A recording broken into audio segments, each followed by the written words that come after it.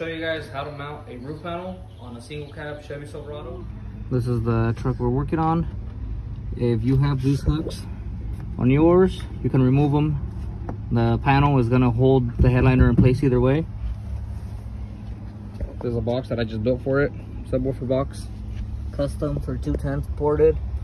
Don't mind this, I just need to paint it. That way it looks all black in there. Made to fit.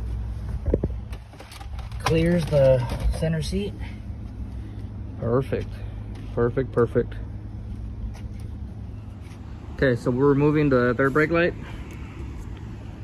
And then this is what I use. I use uh, long screws to hold it in place and then I drill it and we put a um, a bolt with nut and then uh, lock washers. Okay, this is a roof panel. We're about to put it on. Have my wires here ready. I'm about to drill a hole in the back of the roof panel for the wires to come in. Hooks are off. Roof panel looks clean. No wrinkles. Staple in the back. All right, let's do this.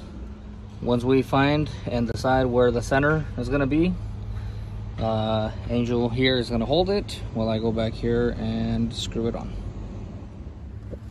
Roof panel is in, mounted, nice and straight. These are all done. The bolt is all tied up. The other thing that you guys can do is put some silicone here just for whenever it rains. If this gasket's not too good and water does go in here, it won't leak through the bolts and through the screws.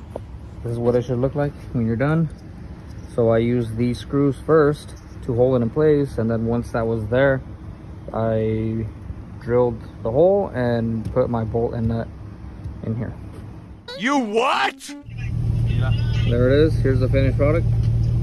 Custom box behind the seat ported roof panel. What? amps.